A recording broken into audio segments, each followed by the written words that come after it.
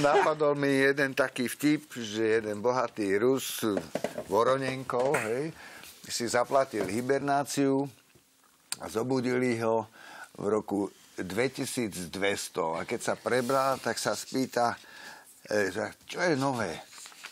Bola tretia svetová vojna? No, samozrejme, áno, bola, bola. No, a ako sme dopadli? No, myslím, že najlepšie, ako sme mohli. Fú, to je super, tak to treba zapiť. Vyrába sa ešte stoličné vodka. Samozrejme, že sa vyrába. Hm? A koľko teraz stojí? 2, 2,5 dolára.